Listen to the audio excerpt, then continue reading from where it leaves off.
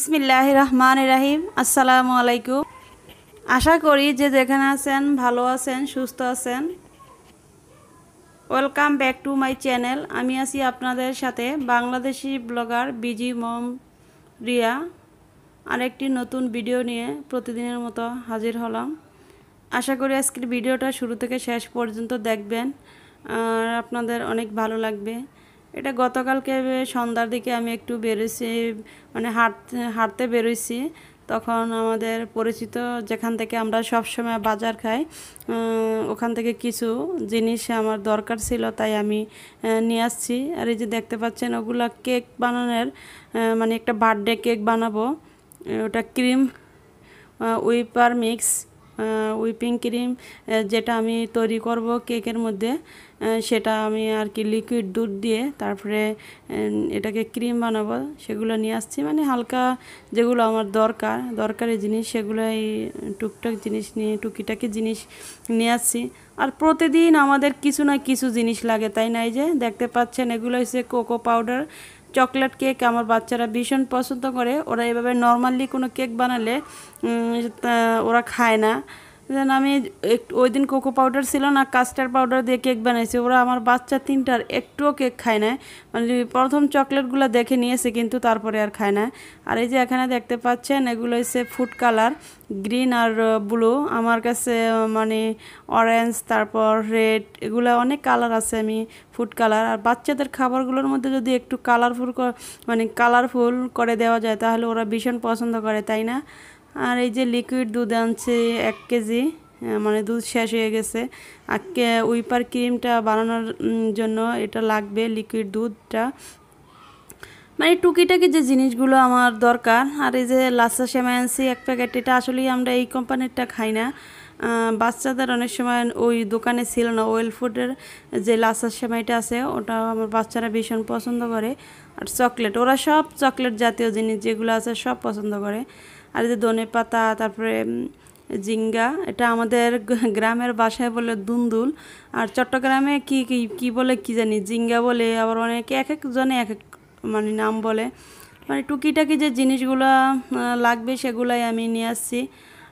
এটা গতকালকের ছিল, আজকেও বেরোইছি সন্ধ্যার দিকে, তারপর আজকেও নিয়ে আসলাম। আর এগুলো গুছিয়ে রেখে দিয়েছি। আর এগুলো, এটা ছিল আমার দুপুরের রান্না। আমি এর আগে ডাল এবং মুরগির মাংস যারা বাচ্চারা পছন্দ করে সেটা আগে রান্না করে রেখে দিয়েছি। আর ভাবলাম একটু একটা রান্না আপনাদের সাথে শেয়ার করি। সেটা হচ্ছে মাছ রান্না। মাছ রান্না তো আমি আরও দেখিয়েছি। তবু আজকে যেহেতু জিঙ্গা দিয়ে মাছ রান্না করব, কীভাবে রান্না করি সেটাই আপনাদের সাথে শেয়ার করতেছি। এই যে দেখতে পাচ্ছেন আপনারা। আর আমার ভিডিওর শুরু থেকে বলে দিচ্ছি, যারা আমার চ্যানেলটি এখনও সাবস্ক্রাইব করেনি, প্লিজ আমার চ্যানেলটি সাবস্ক্রাইব করে দিবেন, পাশে থাকা বেলাইকনটি অন করে দিবেন, তাহলেই আমি প্রতিদিন যে ভিডিওগুলো আপলোড দিব, সবার আগে তার নোটিফিকেশান আপনাদের কাছে পৌঁছে যাবে। আশা করি আপনাদের অনেক ভালো লাগবে। এই যে মাছ রান্না করার জন্য বাটা মাছ মানে এটাকে আমরা চট্টগ্রামের বাসায় বলে বাটা মাছ, তাই না?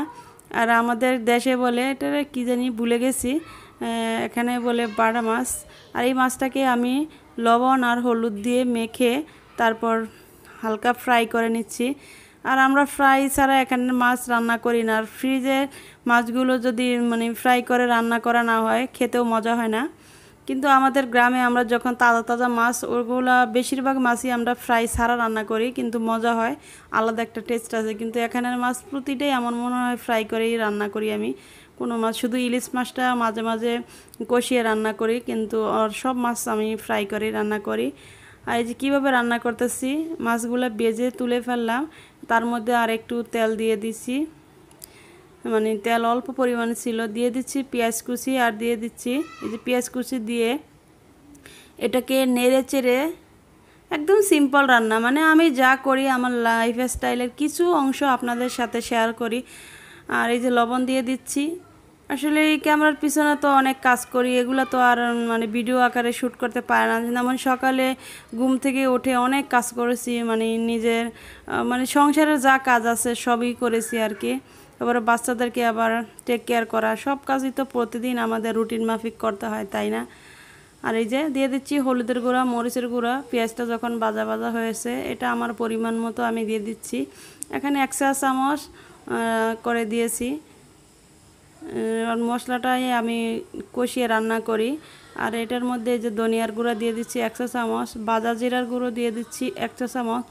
এটা মশলাটা আমি সব রান্নার ক্ষেত্রেই মশলাটাকে আমি একদম ভালো ভালো ভালো করে কষিয়ে তারপরে এখন আমি এটার মধ্যে কেটে রাখা এই যে জিঙ্গেগুলো মানে শুলে তারপরে এটাকে আমি ধুয়ে তারপরে কেটে মানে কাটছি আর কি। আর এটা তো অনেক পানি উঠে যাবে সবজিটা এমনিও পানি লাউ আর এই ঝিঙ্গার মধ্যে মানে প্রচুর পানি, এটা পানি জাতীয় একটা সবজি আমার মনে হয়। আর এটা যখন আমি ডেকে দিব, মিডিয়াম হিটে রেখে চুলাটা যখন মিডিয়াম হিটে রাখব আর ডাকনাটা দিয়ে দেখবেন এটার মধ্যে অনেক পানি উঠে আসছে। এই যে দেখতে পাচ্ছেন, এখানে আমি কোনো পানি অ্যাড করি নাই। অনেক পানি উঠে আসছে, লাউ বা জিঙ্গা এর মধ্যে তো অনেক পানি উঠে আসে। আর এটার মধ্যে পানি রান্নার ক্ষেত্রে পানি দিতে হয় না তেমন একটা। আর আমরা জল জল এটা তরকারিটা আজকে জল রাখব না মানে একটু ভুনা ভুনা রাখব মানে জল থাকবে না, মাখা মাখা জল থাকবে। এই দেখতে পাচ্ছেন, দিয়ে দিচ্ছি বাজে, বেজে রাখা মাছ, বাটা মাছগুলো। আর মাছটা খেতে ভীষণ মজার হয়েছে। আর ছোটো সাইজের যে মাছটা, আমার মনে হয় ওটাতে বেশি কাটা থাকে। আর এটাতে কাটা থাকে না, এটা অনেক মজা হয়েছে মাছটা। আর খেতেও ভীষণ মজা এই সাইজের মাছগুলো। আর বাটা মাছ ছোটো সাইজের মাছ আমার কাছে ভালো লাগে না। এটা একটু বড় বা ইচ্ছে বড়ো সাইজ আছে, ওগুলো অনেক মজা হয়। এই যে আপনারা দেখতে পাচ্ছেন। আর আমার কথার মধ্যে অনেক ভুল ত্রুটি আছে। ভুল ত্রুটিগুলো প্লিজ ক্ষমার দৃষ্টিতে দেখবেন। সব সময় আমাকে সাপোর্ট করবেন কমেন্ট করবেন, আর ফ্রেন্ডস অ্যান্ড ফ্যামিলির সাথে বেশি বেশি করে শেয়ার করবেন। তাইলে আমার চ্যানেলটা অনেক দূর পর্যন্ত এগিয়ে নিয়ে যেতে পারব, ইনশাল্লাহ। আর আমি আমার লাইফ স্টাইলের কিছু অংশ ভিডিও আকারে আপনাদের সাথে শেয়ার করি। হয়তো কারও কাছে ভালো লাগে, কারও কাছে ভালো লাগে না। কিন্তু আমি অনেক এনজয় করি, সত্য মানে সত্য কথা যেহেতু আমি অনেক এনজয় করি। আর এই যে দেখুন অন্য চুলায় আমি ভেন্ডিবাজি দিয়েছি। ভেন্ডিবাজি একদিন আপনাদের আগের একটা ভিডিওতে আমি দিয়েছিলাম, তাই এখানে আর দেখাই নেই। দেখছেন এটা? আজকে দুপুরে ছিল মুরগির মাংস, ডাল, বাটা মাছ, আর হচ্ছে ভেন্ডি ভাজি। দুপুরের এগুলো আমার সাথে ছিল দুপুরের খাবার। এই যে দেখেন আমার মানে মাছটা রেডি হয়ে গেছে রেক একেবারে রেডি মাছটাও ভালোভাবে সিদ্ধ হয়ে গেছে। আর এখন দিয়ে দিচ্ছি ধনে পাতা কুচি। এই ধনে পাতাটা আমার ভীষণ পছন্দের। মানে অনেকে ধনে পাতা কুচি দেখছি, শুনছি যে অনেকে ধনে পাতার ফ্লেভারটা পছন্দ করে না, কিন্তু আমার খুব ভালো লাগে। আর এখন ধনে পাতাটা যেখানে সেখানে পাওয়া যায় না। আমি এটাকে এক জায়গায় মানে একটা আঙ্কেল বিক্রি করে ওনাকে আমি বলি যে, আঙ্কেল, আমার জন্য হলো আনেন।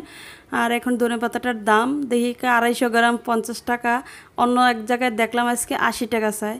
কিন্তু আমি মানে ওনার থেকে কিছুদিন আগেও আমি পঁয়ত্রিশ টাকা দিয়ে এনেছি। আজকে পঞ্চাশ টাকা দিয়ে এনেছি। মানে তারপরও আমার কাছে ভালো লাগে যেহেতু ফ্লেভারটা। আমি ওনাকে সবসময় আনতে বলি। আনলে বলি, আমার জন্য রেখে দিবেন আপনি। আমি নিব আর কি। রেখে দেয়। এই যে ভিন্ডি বাজি আর ওগুলো টেবিলে আনি নাই। বাচ্চাদেরকে আগে আমি গোসল করিয়ে তারপর নামাজ পর ওদেরকে মানে খাওয়া মানে ওদেরকে আমার হাতে করে দুই, ছোট দুইটা বেবিকে খাওয়াই দিয়েছি। খাওয়ানোর পরে তারপরে আমি দুপুরের খাবারটা খেয়েছি আর কি।